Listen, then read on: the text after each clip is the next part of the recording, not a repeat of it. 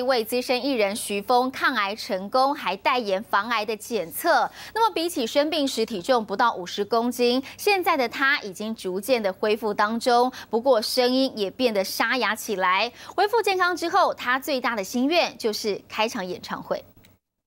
气管有损伤、插管之类的，现在还不晓得。带着沙哑的声音，资深艺人徐峰化疗后首度露面。不过回顾一个多月前的他，是这个样子的。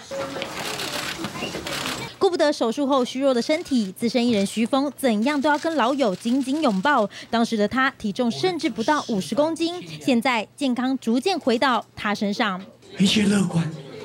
据我本身的呃情况，跟医生给我的评估都很乐观。罹患食道癌三期的徐峰抗癌成功，但手术留给他的是沙哑的声音。生了场大病之后，徐峰才深刻体认到健康检查多重要。人啊，不要斤斤计较，乐观，不要怕，真的不要怕，而且要保持乐观。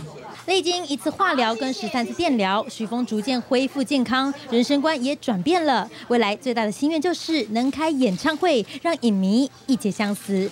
明新闻综合报道。